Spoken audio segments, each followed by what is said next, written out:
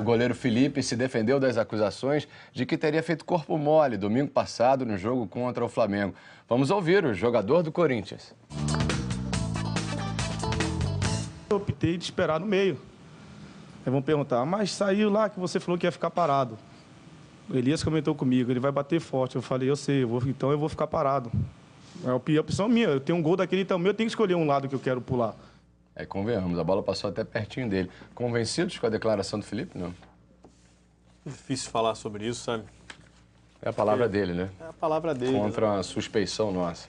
É. Mas eu acho também está todo mundo sendo duro demais nessa história, já querendo muito caça às bruxas, essa história aí com o Felipe. Eu entendo, ele ficou revoltado, ele achou ali na hora que não foi pênalti, ele foi enfático, né?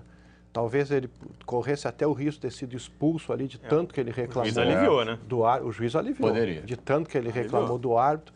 E ele estava ali furioso na hora. Quem, quem já participou, quem já, quem já participou de algum jogo a valer, quem já foi atleta, sabe muito bem na hora como isso é, é difícil de, de controlar.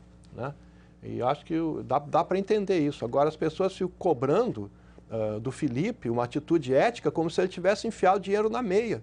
Pô, Sabe? A cobrança acho que tem que ser forte em cima de quem faz coisa desse tipo, e não de um jogador de futebol que estava ali num momento que ele achou que o árbitro errou, que o árbitro prejudicou o time dele, que, que ele estava tentando, naquele momento, empatar o jogo, né?